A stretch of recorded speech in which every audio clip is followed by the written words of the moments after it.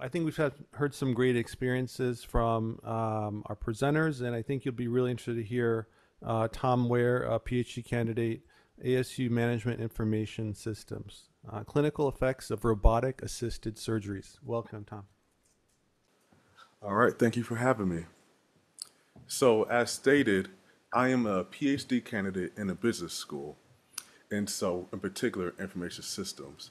And so, um, what I'll be discussing today is a quick overview of my research, the data that I used uh, within uh, to answer my research questions, a little bit about my a little bit more about my experience um, using the VA data, and uh, and some recommendations as well. Okay, so um, to give a quick introduction, as a fourth year PhD candidate, my particular research interest is at the intersection of AI and robotic engagement in human behavior.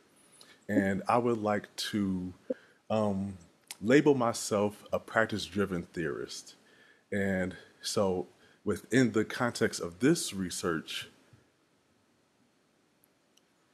I have particular interest in robotic and human robot augmentation within the healthcare setting which brings me to my interest in engaging in research using centering robotic assisted surgeries. And so we use inguinal hernia repair as the surgical context for this project, and I'll explain why in the next slide. Um, but for this research, we identified 25 over 25,000 observations uh, over a 13 year study period from 2010 to 2022. And using this data, we were able to uh, identify a couple of interesting findings.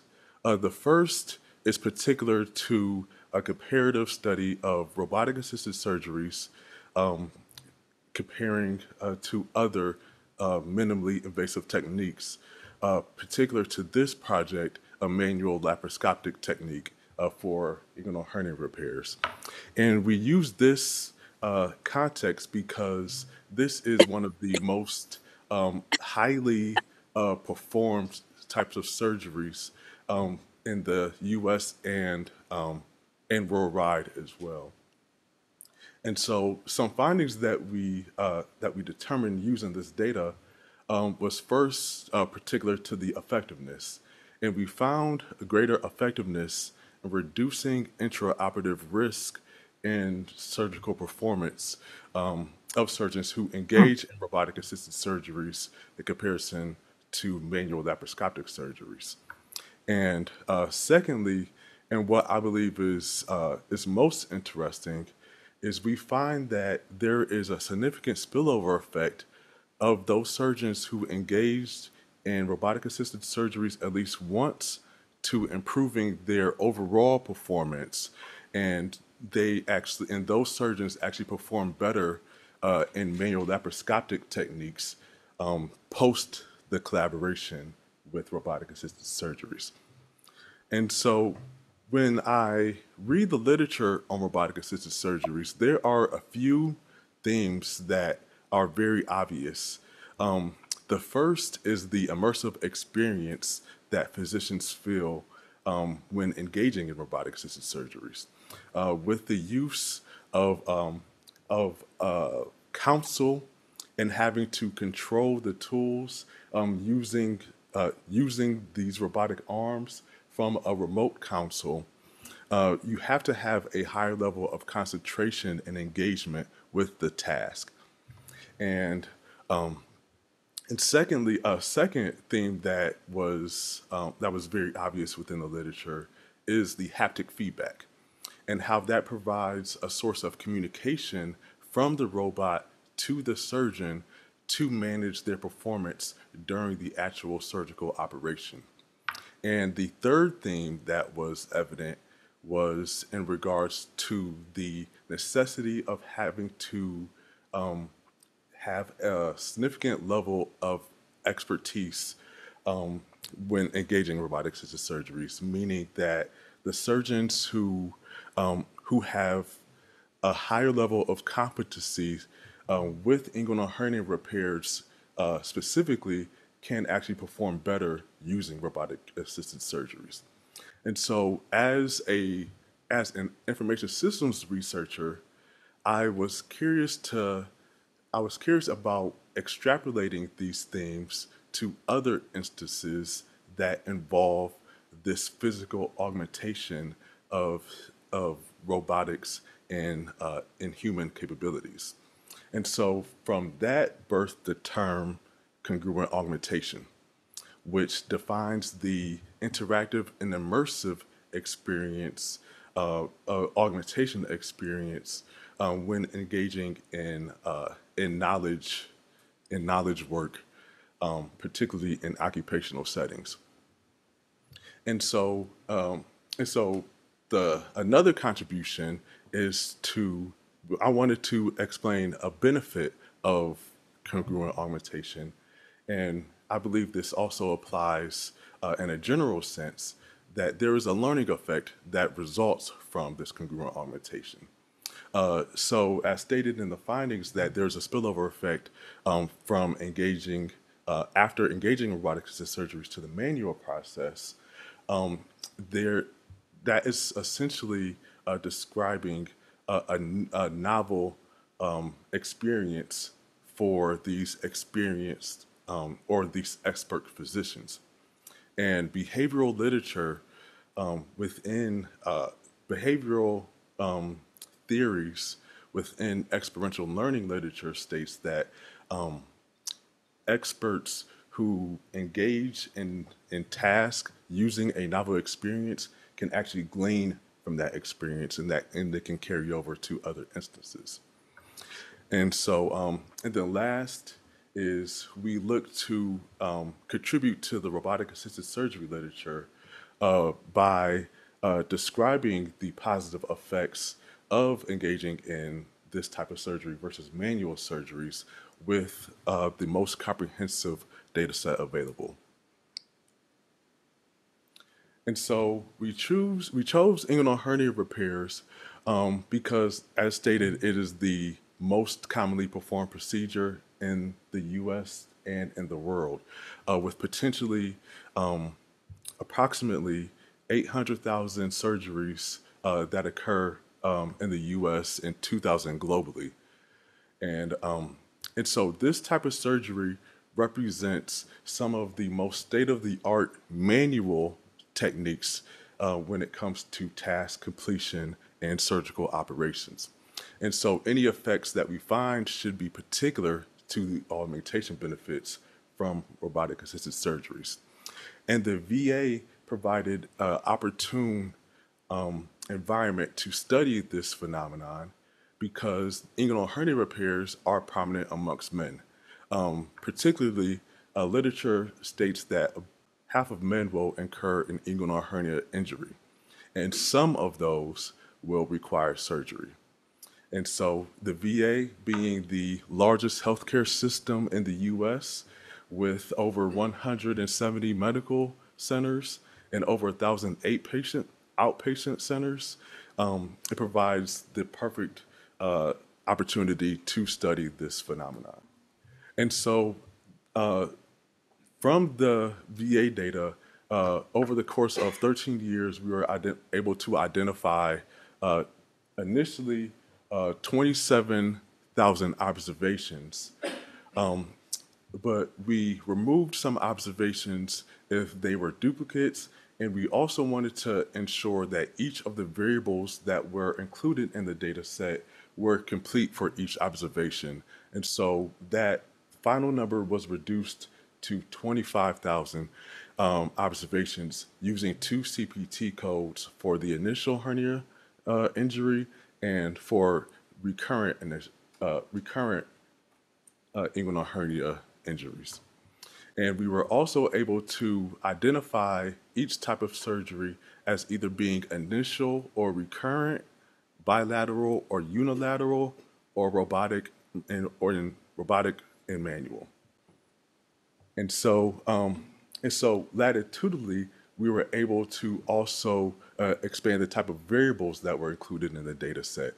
Um, and so we uh, were able to identify patient characteristics such as age, uh, the race, gender, and other health factors uh, pertaining to obesity and previous smoking history, as inguinal hernia, um, inguinal hernia literature has pointed to those those two factors being important to the to patient outcomes. And so we also included variables regarding to the operational complexity, variables related to uh, physician characteristics, um, and uh, and as well as the facilities. And we focus on four dependent variables related to intraoperative risk uh, pertaining to the conversion, uh, blood loss, um, the uh, the post the time it takes to recover after the surgery, and uh, if uh, wound occurrences um, occurred during the operational procedure. And so we were able to utilize this data to answer these two research questions. So with potentially the most comprehensive data set, if I wanted to first determine if surgeons learn from robotic assisted surgeries, I felt it was necessary to contribute to the conversation regarding the overall effectiveness of robotic assisted surgery. So that's why we started with the initial research question.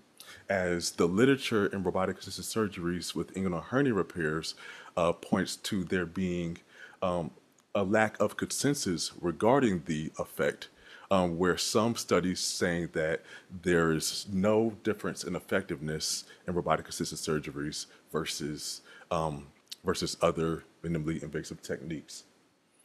And, and secondly, um, in that in answering that question pertaining to its effectiveness will allow us to determine if there is an overall benefit for surgeons, which led us to our second uh, research question regarding the um, regarding the surgeon robot congruence and its effect on its learning on potential uh, learning effect. And so to answer the first question, we engaged in um, in linear um, regression using fixed effects, where we used where we used four uh, dependent variables. Those four dependent variables, with robotic assisted surgeries being the um, being the main independent variable of interest.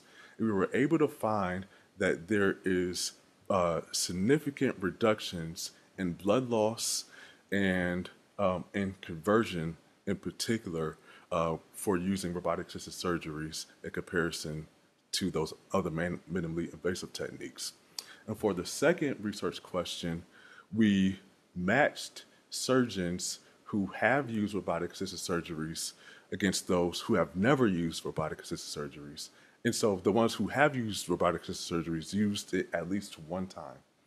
And then so we matched using some criteria pertaining to the level of experience and some performance metrics, meaning uh, meaning similarities um, in the conversion rates, uh, for example.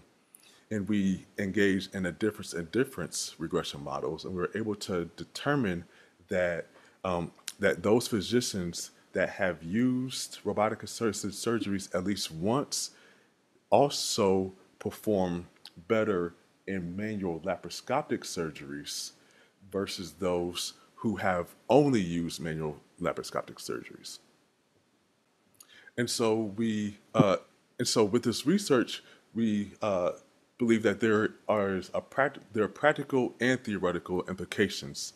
Uh, particular to practice is we point to uh, point to the superior benefits of robotic assisted surgeries, um, where that question is still open ended, and uh, and theoretically we look to introduce the congruent augmentation term, applying that to the robotic assisted surgery context, and also describing the learning effects of congruent augmentation within the robotic assisted surgery context. And so a little bit about my experience uh, with the VA. So my the initial conversation occurred um, November of 2021, actually, with uh, with an investigator with an appointment with the VA uh, via the National AI Institute, uh, his name is Christos Makridis. He also has an affiliation here at ASU. And so I won't go through each point step by step, but to give a brief overview, um, starting that following spring is when we started the documentation process of the work without compensation agreement uh, that was initiated from cross, from Christos based off all, based, based from our um, mutual interest in wanting to engage in research. And so from there, we had to uh, to fill out a bunch of forms and do a train, do a bunch of trainings, and I mean hours of trainings um, with background checks and fingerprints. And then in about in that summer, I get access to the VA environment, and from my perspective, that's it. I, I have access to the data, and I'm ready to go. But that was not the case. so, so um, I quickly learned that I needed to get access to the Vinci sense, to the Vinci system to be able to access the data from there. And so that took another uh, approximate, um, yeah, approximate five to six months. And in between that time is when I started to build my research team. So Christos um, Makridis is the PA, is the PI at the VA who is my main contact for a lot of the administrative stuff and the CDW and things of that nature. Um, and so during this conversation, it, it was brought up that I needed to also um, have a, a, VA partner who is an experienced physician. And that's when Dr. Dev uh, came into the conversation. And I think it was from an introduction from Christos. And that occurred in September and um, and throughout the time while we're waiting to finish the um, the documentation to get approval from the DART request, from the initial DART request uh, for the prep to research phase, is when that team expanded to Dr. Vinod um, and uh, and Dr. Felipe, who was not here, um, but um, and so that is when the project really started to take form and uh, and I was also introduced to the MD Clone platform at that time. And the MD Clone MD Clone uh, platform was instrumental for that initial look um, to determine how many inguinal hernia surgeries that were occurred, um, identifying the percentage of robotic assisted surgeries, and able to uh, and able to get a high level uh, analysis to be able to engage in hypothesis testing. And so, um, and so in the March of 2023, I was able to find there were some findings there, and then, um, and then that summer is when I started the IRB process in July, and it became fully executed in November of 2023. And so between the initial conversation and now, it was approximately two years. Um, but uh, but as far as engagement in the actual analysis, it was approximately a year. And so I'm just going to quickly go over some some limitations. Um, there could be some systematic differences in those patients who select robotic assisted surgeries versus those who don't. Uh, so some communications to determine exactly how that decision was made would be helpful to empirically control for that. Um, and and additionally, we don't have a, a clear understanding of the type of uh, or of the models that were particularly used in the surgeries, which ca- could have different technological um, uh, advances. And but there are some other research questions that I plan to well, I'm starting to engage in, um, in where uh, I am targeting IS, information systems, and healthcare journals, particular to the robotic assisted surgery team, and uh, in the in the um, how robotic assisted surgeries reduces or potentially reduces variances across surgeries and across surgeons and so that would be uh, the, my next set of projects.